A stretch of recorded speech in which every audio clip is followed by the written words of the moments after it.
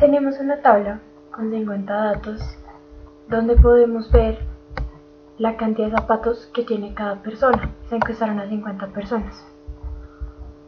Empezamos por sacar las medidas de tendencia central. La primera es la media, que es el promedio de los datos. Mm, nos sirve, nos sirve para saber la cantidad de zapatos que tienen 50 personas en promedio. Se saca haciendo la suma de todos los datos y lo dividimos en la cantidad total. O en el caso de Excel, eh, se saca de esta forma.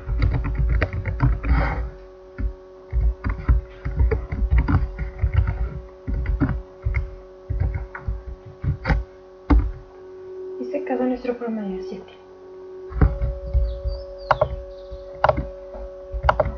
La mediana.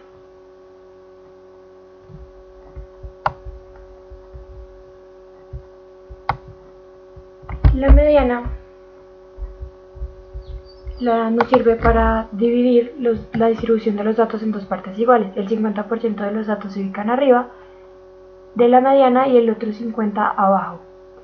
Es importante ordenar los números de menor a mayor y en este caso de Excel se saca así.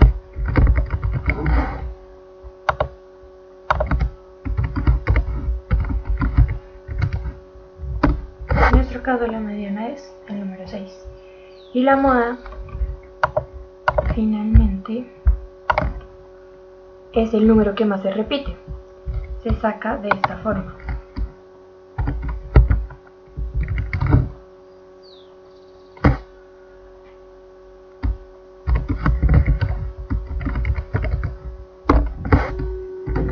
Ahora las medidas de dispersión.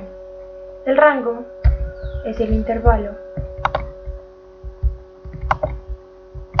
El rango es el intervalo entre el valor máximo y el valor mínimo. Nos da una idea de la dispersión de los datos entre el mayor y el menor y nos da una idea también del qué tan dispersos están en el conjunto. Entonces se saca de esta forma.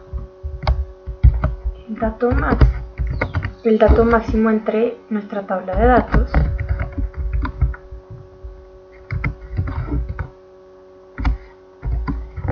menos menos el dato mínimo de nuestra tabla de datos también.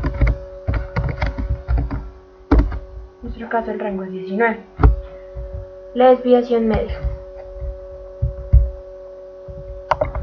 La desviación media es el promedio de las desviaciones absolutas y es un resumen de la dispersión estadística se saca de esta forma. Cogemos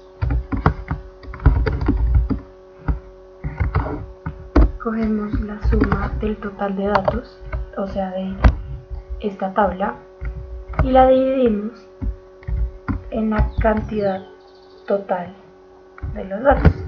En este caso son 50 datos.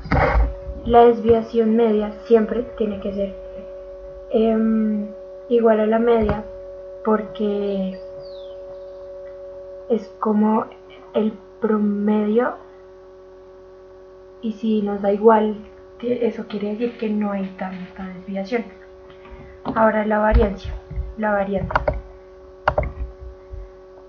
Es el cuadro de desviación respecto a la media y se saca de esta forma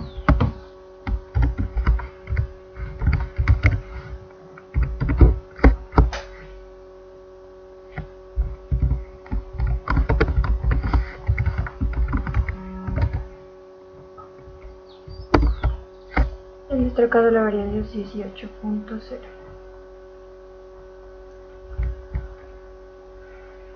Y por último,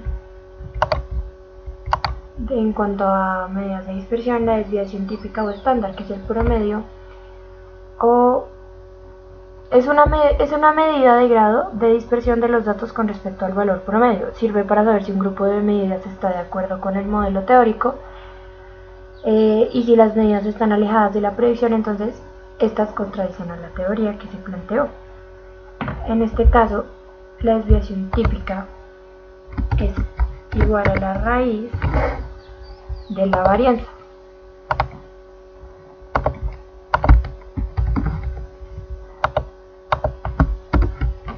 En nuestro caso es 4.2.